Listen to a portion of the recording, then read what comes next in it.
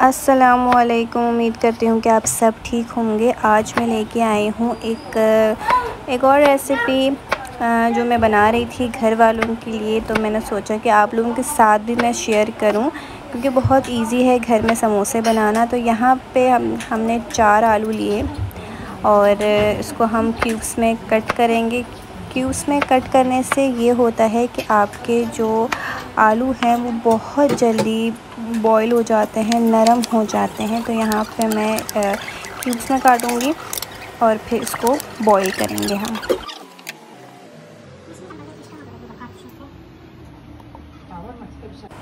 अब यहाँ पे हम वन टीस्पून जो है वो सॉल्ट ऐड करेंगे। मैंने यहाँ पे पिंक सॉल्ट यूज़ किया है।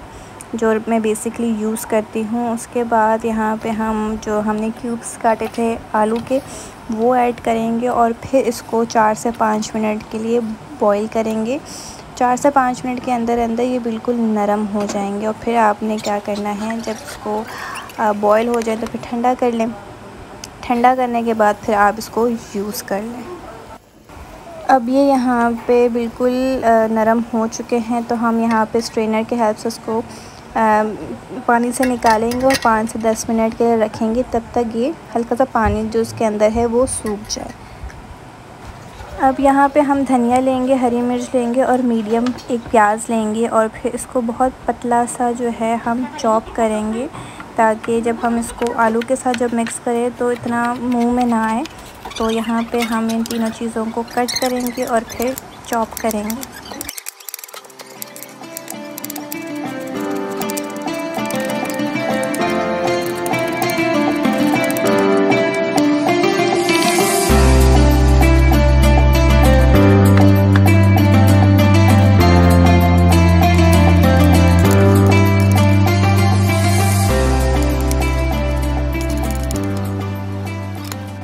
यहाँ पे हम पैन को प्री हीट करेंगे और फिर इसमें हम ऑयल ऐड करेंगे। तो यहाँ पे कुछ प्याज जो है साबित रह गए थे तो मैंने उसको दोबारा कट किया।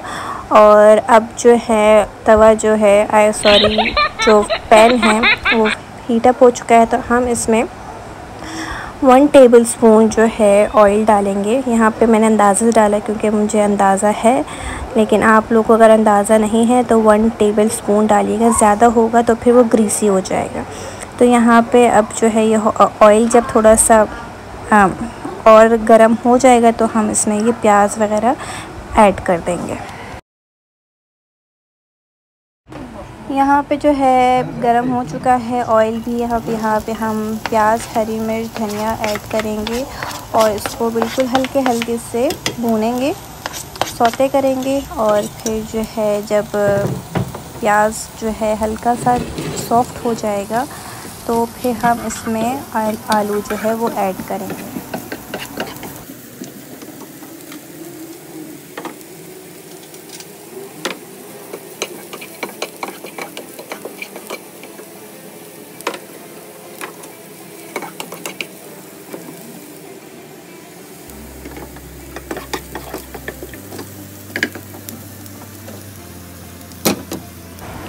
यहाँ पे एक टीस्पून जो है भर के हमने लाल मिर्च डाला, एक टीस्पून भर के हमने यहाँ पे धनिया पाउडर एक टीस्पून भर के ज़ीरा पाउडर और हाफ़ टी स्पून जो है हमने चाट मसाला डाला है और हाफ़ टी स्पून से थोड़ा सा कम हमने यहाँ पे गरम मसाला डाला है और जो ये नमक है, आप अपने जितना आप लोगों को पसंद है, कम ज़्यादा हिसाब से डालिएगा। यहाँ पे मैंने एक टी स्पून से थोड़ा सा कम डाला है, क्योंकि हम लोग के यहाँ यहाँ पे इतना नमक को पसंद नहीं किया जाता। तो इसको अब हम एक से दो मिनट के लिए हल्का सा सौते करेंगे। उसके बाद फिर जो है, आलू हम इसमें ऐड करेंगे।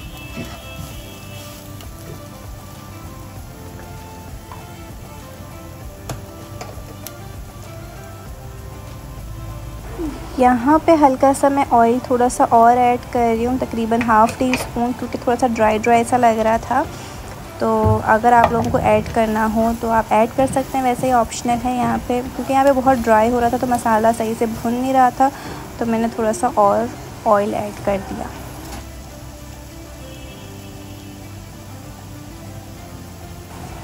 अब यहाँ पे मसाला अच्छा से, अच्छे से भून चुका है। उसके बाद हम यहाँ पे आलू डालेंगे और उसको भी एक से दो मिनट के लिए पकाएँगे ताकि जितना भी मसाला है वो उसमें एब्ज़ॉर्ब हो जाए।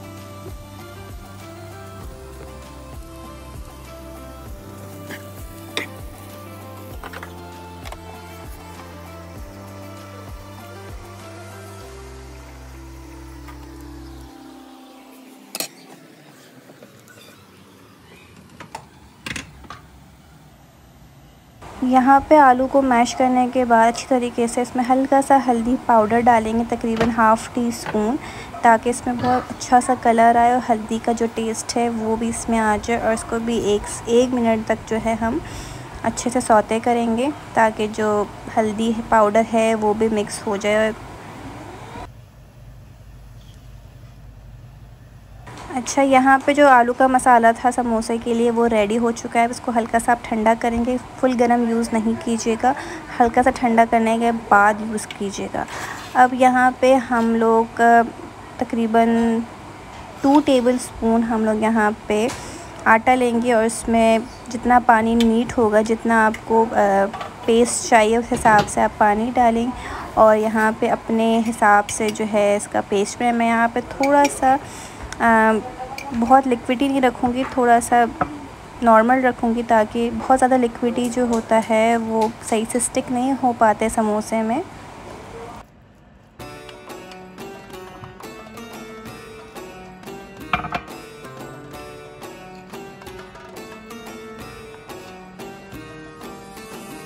तो यहाँ पे मैंने सोचा क्यों ना समोसा फिलिंग करने से पहले मैं आप लोगों को विदाउट फिलिंग पहले दिखा दूँ किस तरह शेप में लेके आते हैं।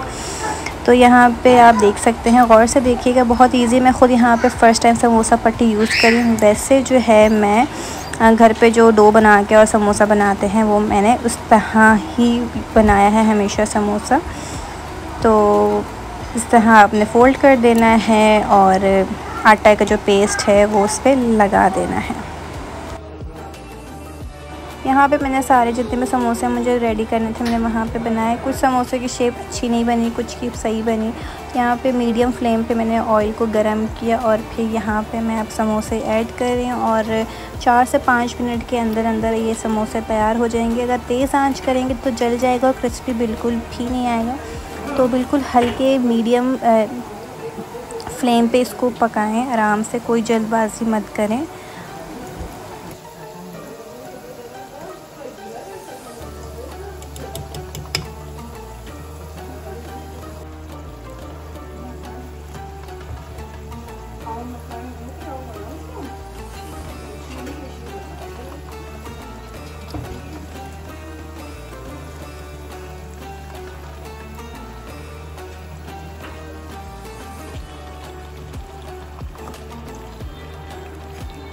तीन से चार मिनट के बाद ये लाइट ब्राउन गोल्डन होना स्टार्ट हो चुका है। अगर आप लोगों को इसी स्टेज पे अच्छे लगते हैं तो आप निकाल के इसको सर्व कर लें, वरना एक मिनट और रख के इसको फ्राई कर लें, उसके बाद आप लोग सर्व कीजिएगा और ठंडा करके इसको मज़ीद से इंजॉय करके खाएँ।